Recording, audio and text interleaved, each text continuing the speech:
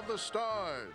Dateline Hollywood 1930, the Warner Brothers Studio. Here at the studio's new animation department, the artist toiled endlessly to come up with cartoon stars, ultimately creating three new characters the Warner Brothers and their sister Dot.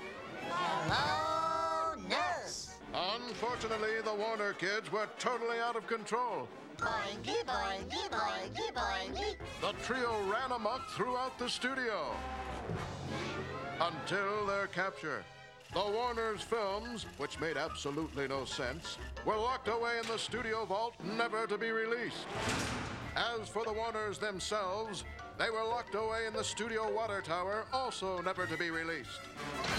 Publicly, the studio has disavowed any knowledge of the Warners' existence to this very day, when the Warners escaped.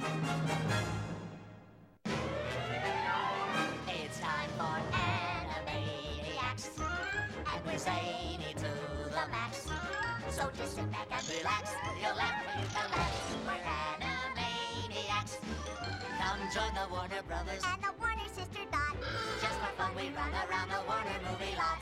They lock us in the tower whenever we get caught. But we break loose and bend the moose, and now you know the plot. We're Animaniacs. Dot is cute